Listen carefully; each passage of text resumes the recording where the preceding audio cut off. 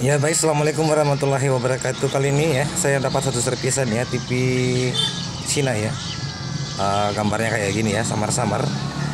Ya, ya seperti ini ya.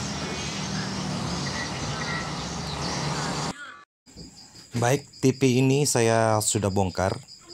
Saya memutar screen dari playback. Ternyata hasilnya nihil ya. Dan saya mengukur tegangan G2 ternyata drop Penyebab tegangan G2 drop adalah sebuah kapasitor yang terhubung di kaki G2 dan ground. Inilah penyebabnya. Uh, kapasitor dengan nilai 102 2 kV. Dan saya sudah menggantinya ya.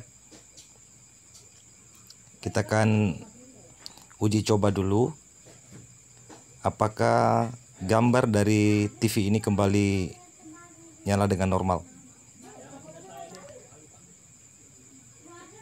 Kita lihat hasilnya.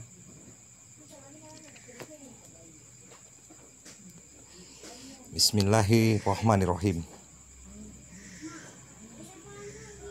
Oke, TV ini kembali normal. Oh, ternyata penyebabnya adalah sebuah kapasitor dengan nilai 1022 kV yang terhubung di kaki G2 yang menyebabkan uh, tegangan G2 drop ya. Inilah penyebabnya sehingga TV ini gambarnya samar-samar. Dan alhamdulillah TV ini kembali nyala dengan normal. Oke demikian dari saya lebih dan kurang yang mohon dimaafkan. Wassalamualaikum warahmatullahi wabarakatuh.